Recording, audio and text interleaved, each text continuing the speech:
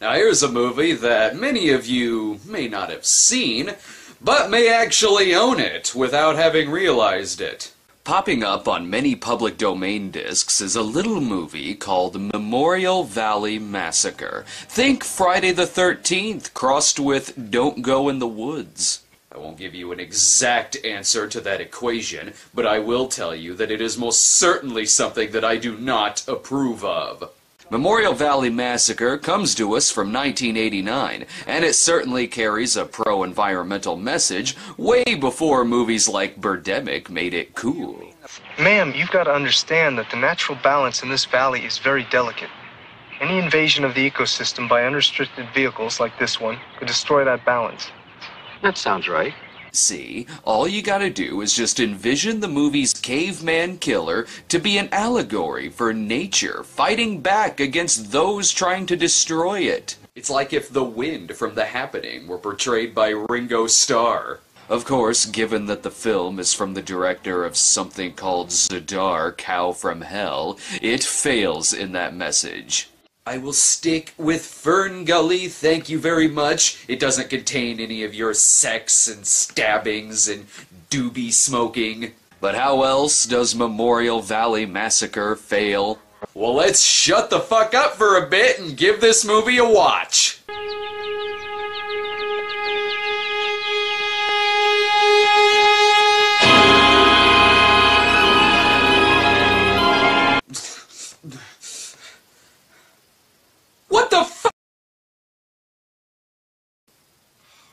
Okay, so I've had our entire show's opening credit sequence to think about what the possible explanation for this is. A lot of movies have alternate titles. Uh, this one's is Son of Sleepaway Camp. Supposedly, it's some kind of international title, hoping to join the ranks of such greatness as Son of the Pink Panther, Son of the Mask, Son of Sam, Son of Godzilla, another Son of Sam. It, wait, what?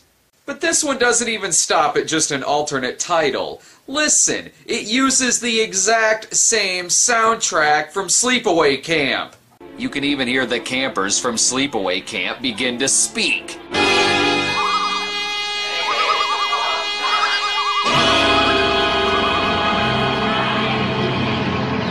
Who those voices are coming from? This group of old people in a movie that does not feature a Bunk 9 nor a children's summer camp. This is where the line between alternate version and fan edit begins to blur. Oh, and who added starring John Kerry? Oh, uh, that's uh, that's the actor's name. Oops, sorry. Here I was wondering why right-wing critics began swift-boating the film. This opening comes across like it's using music from another film in an unrelated slasher film that seems to be using stock footage from Pod People. Original music by Jed Feuer. That's funny. I thought he pronounced it Edward Bilous. You know, as in the guy who did the music to Sleepaway Camp. Memorial Valley is basically the slasher movie version of Jellystone Park. A group of campers are waiting to get into the place, but they're being held up by Cameron Mitchell? Really? Maybe his sleigh and reindeer from Space Mutiny crashed. As of this morning, we are without running water. Unfortunately, that means that we will temporarily be without restroom facilities. What do you mean temporarily? If that were any more hammy, he'd be wearing an I Heart the Monster Hero shirt. Cameron Mitchell is wanting to build superstores across the valley, but with a construction worker turning up dead and a dog being found in a well, the workers decide to go home. But they let the citizens camp there anyway. That's perfectly fine. I ain't never seen nothing like this before. Well, animals fall down wells all the time. Ever known one to lift a 50 pound lid to do it? Ever see McGruff go deep undercover? Give him enough sausage powder and he can lift anything. I think Cameron wants every other shot to be out of focus, so we won't recognize that he's in the movie. Maybe that's why his character disappears and he's replaced with his son. What are you doing here? Who is he? He's my son. Well, you said that if I ever wanted a job on one of your projects, I could have it. Bet you wish you picked a better Cameron Mitchell project, like Swiss Family Robinson. But seriously, it's about time they let the citizens into Mexico so we can get some authentic Taco Bell.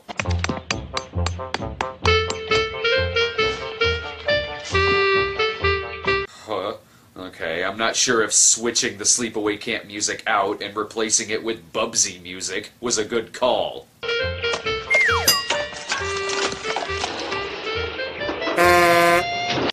This gets so fucking slapsticky? If this were any less slapsticky, they'd be singing about how their morning is inky dinky doodah.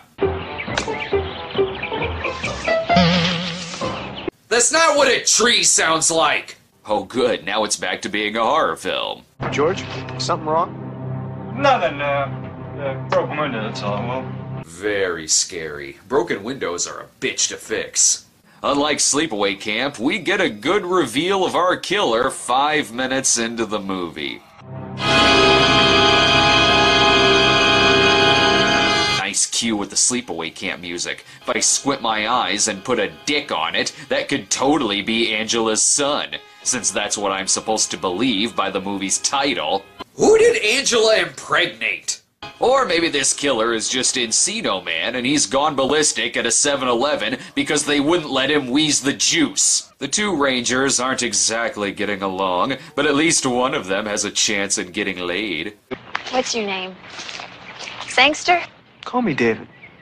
Listen, Sangster, I. Sangster? As in the Sangster. Is that a name or just something that Richie came up with on Saturday Night Live? Don't worry, I think these two will start to get along soon, once the one on the left turns into Puchinsky. Or maybe even sooner. how you feeling? Tight. Ugh, sore, but not that bad. Good. I think that's what Jeff Stryker said after his debut. Unfortunately, they have a group of bikers on their hands. I think they're meeting up so they can discuss how they're going to harass Shelly from Friday the 13th 3D. Oh, hey, what'd they put Josh Hadley in the movie for? He's not going to like it. Beer. Hmm, glasses, suit. Never mind the bikers, there's something else going wrong. The snakes! For Christ's sake, dozens of them! All over our food! See, we all laughed when Arch Hall Sr. warned us, but now look at the mess we're in. We didn't watch out for the snakes. We're leaving. Sir, if you'll just give us a chance, I'm sure we It's can too damn late for that. What if my kids were here? You know, that kind of begs the question where are your kids? Rich loves Wendy's? I must agree. Large spicy chicken combo with a side of fries and honey mustard. I'd carve that love note onto a tree. But which one of us do you like better? Me or Rick? I don't know. You're both sort of cute. Yeah, in a Horshack and the boyfriend from Troll 2 sort of way. Well, I'm Moe, and they're Larry and Curly. Ah, they're the Three Stooges, so that means at least these characters should be funny. Does he look sort of like you? Why, yes. Sort of dumpy and stupid? Now, just a minute. Kind of fat and weird. Never. He's probably out in the woods hunting Bambi. Ugh, okay. So they're Sean Hayes, Will Sasso, and Chris Diamantopoulos. Got it. Are there any more unlikable characters this movie's gonna throw at us? Excuse me. Are you aware that there's no off-road traveling allowed in this area? Oh, bug off, asshole. Hey, did you hear me? I don't see no stinking badge. Forget son of Sleepaway Camp, it's the son of Francis Buxton and Eric Cartman. What's going on here? Smokey the Bear's taking my key. While this movie has nothing to do with any of the Sleepaway Camp films, would you believe that this character is actually the perfect foreshadowing for the lead in Return of Sleepaway Camp? This kid is as intimidating as Uter from The Simpsons. I hope they don't make him run. He's full of chocolates. Come on, the wall is pointing guns right at him. Shoot, shoot! Oh shit, he's found Lindsay Lohan's cabin. Well, that sucks. Oh wait, it's just Tom Skerritt on steroids. Well, my real name's Gloria, but all my friends call me Pepper. Peppermints. Get it? And with that joke, this dog wishes it was the one from the well. As a matter of fact, Pepper and I were just getting ready to watch the Army Navy game of 1958 on my VCR. Goddamn, one hell of a game. We'll stick around. Uh, I'd make a VCR joke right there, but I can't. I'm the guy who collects big boxes. So if Eddie Arbuckle starts riding around like a moron, and I think I know where this scene is going.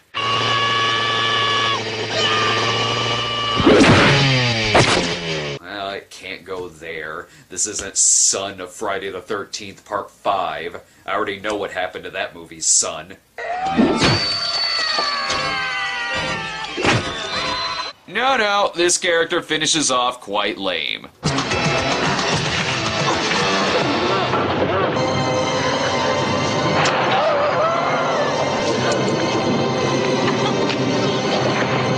Wow, graphic. The killer is bleeding more than the victim. So far, the most dangerous thing to happen at this campground is wet clothes, and their fire is out. How are we gonna save the s'mores? Nothing like telling a ghost story to a group of adults. There, what we call hanging by his heels was a boyfriend. Throat cut, gutted, arm rocking back and forth in the wind. The hell, your story is more graphic than the movie. Even this guy's backstory is better than the one we're watching. I met him in the Nam, 67. It was Special Forces Solo Enemy Reconnaissance. Simply put, he's the best. Shit, we're drifting off into action exploitation. We can't forget that this is a slasher film. Well, nice to know she had a wet shirt clause in her contract. Anyone else want to try getting naked?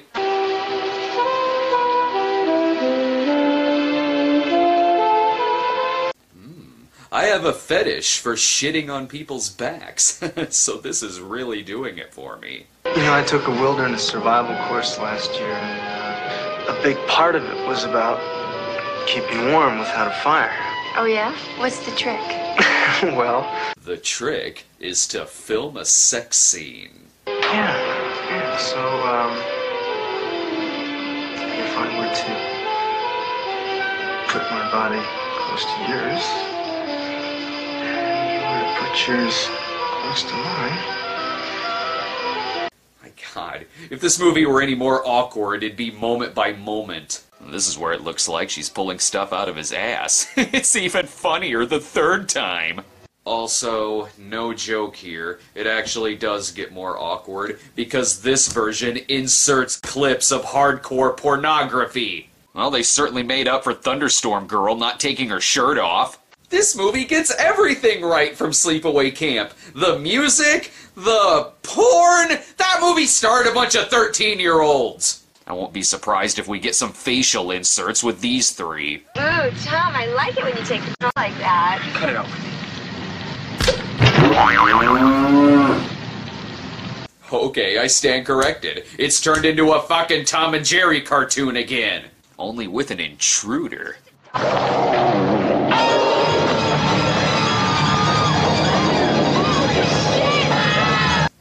Fuck. Son of Grizzly 2 is great. It's actually got a grizzly in it. It was nice of the grizzly to drop off Fatty Magoo to the campsite. Now they can stuff him and prepare him for dinner. But that isn't until after the ranger refuses to call the cops. Now handle it my way. Oh, that's great! That's just great! Now how are we supposed to call the police? I still got the short way. He's totally not calling the cops. Wait, he did call the cops? What the hell was that previous scene all about then? No, George, as long as that bear is still out there, you got a problem. Hmm. We probably can't get any help to you out here until first of the week, if then. Thanks, Officer Bedroom Eyes, but you are no fake mustache cop. Oh well, better take him to the medical lab at the Silver Shamrock Factory. Yeah, life's a bitch. I know, right? Some people are in Son of Sleepaway Camp, and some people have to watch Son of Sleepaway Camp. Everyone appears to be under the impression that the killer is a bear. Now, I'm sure you've all heard by now about the boy who was attacked by a bear. What? No, I haven't heard. What's this about a fucking bear? Why am I still camping here? Nevertheless, I'm leading a hunting party this morning to get the bear, so I would like volunteers to show up at the camp store. We'll supply rifles for those who don't have them. Or you could all just go home. And all of this over fucking Nell. The bikers want to finish off this bear, but they can't even finish off a shitty beer. If anything, they're just gonna piss off the bear. No balls, no guts, no. He's just mad because Jason Voorhees punched his head off in New York. They're gonna do what they want no matter what you tell them. Yeah, listen to the Gina Gershon trio there. They know they're bear hunting. It's a good thing that the ranger has Charles Bronson on his side. Now let's get to hunting. Let's get moving. Wait, wait, that's not the music from Sleepaway Camp. Don't you think this track would work so much better?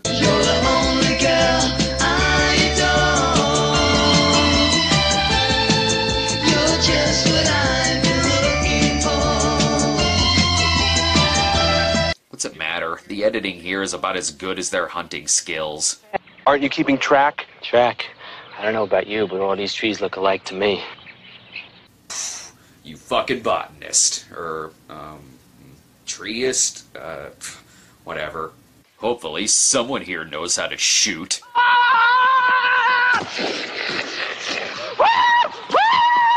God damn it! This isn't a slasher film, it's cowboys and Indians! Wandering Tommy Wiseau looks so threatened. He better hurry because hell's bloody devils here have found his home. Somebody live here? Who would have thought that these guys would find the final resting place of Jesus? At least this gives them a chance to fuck with Egaz's remains, and they find his love letter that he wrote to Roxy.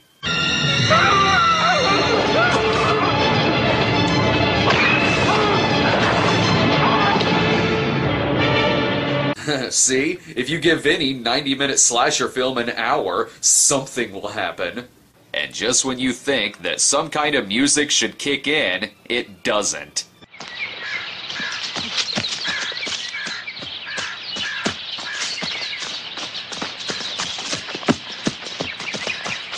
The music is certainly conveying my emotions. Nothing. Ah, all he wanted was the Confederate General's skull from Night of Horror back. But too late, he's still gonna kill you. Why does all the violence appear to be trimmed in a version that inserts hardcore pornography? No matter. Your ache's as good as new. Now back to the churchyard. At least the bear is finally off the hook. It's been a man all along. No, no, I'm still sticking with the bear theory. That would make for a much more entertaining movie. You could have stopped it. It might be my son. Your son! Uh, so, your sleepaway camp? Er, uh, Angela impregnated you? This is the most confusing non-entry in the series, but thankfully the death scenes remain cut and paste.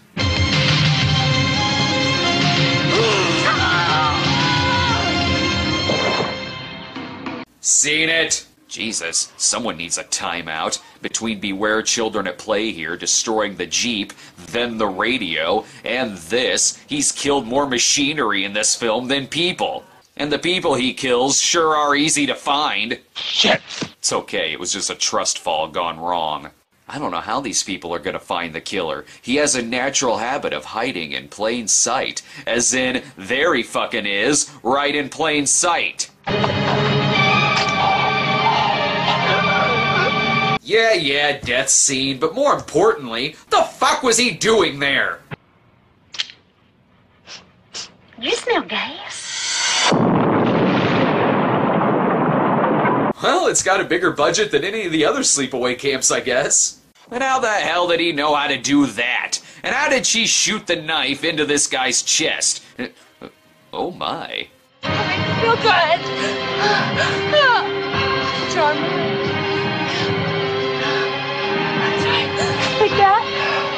Ugh, This is like watching Manimal fuck Melody Anderson mid transition.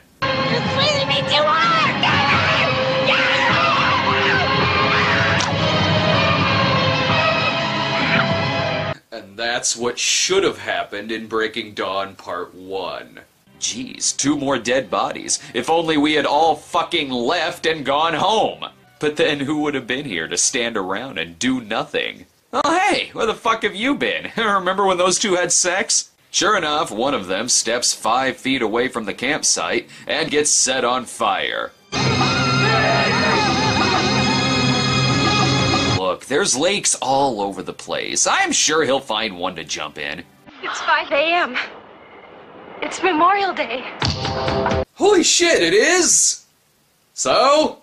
I'm more concerned with how Captain Caveman learned how to drive a fucking bulldozer. There he goes, destroying another truck. I really think these people are just standing in the killer's way of destroying every machine he can find. Let's set this guy loose on the Transformers films, please. He destroyed his father's shack, though, so now it's personal. Go on. I'm staying. God damn it, George. I can't just leave you here. I'll be fine. Go.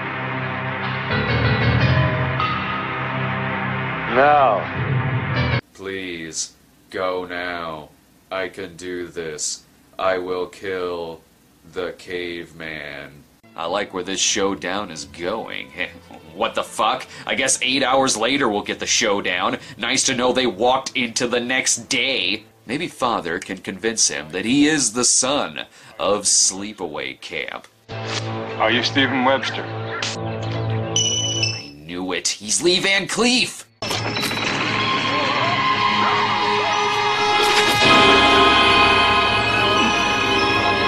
What?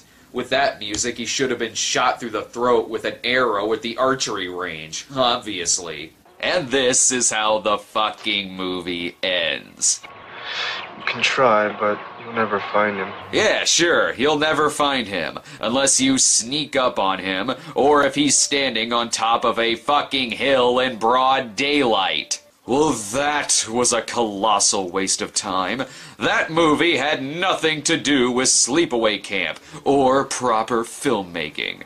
Plus, according to the ending credits, the actual original title was Memorial Day, which explains that earlier bit of dialogue. Kinda makes me wish I had saved this episode for Memorial Day, but how was I supposed to know all that shit would happen? And with its open ending, will someone please tell me whatever happened to the kid from Mama? Here's hoping it's answered in the final Sleepaway Camp film, Return to Sleepaway Camp. Being a cinema snob such as myself, I haven't reviewed Return to Sleepaway Camp yet, but from what I hear, its ass stinks. That's a damn good idea. But I didn't hear a damn thing.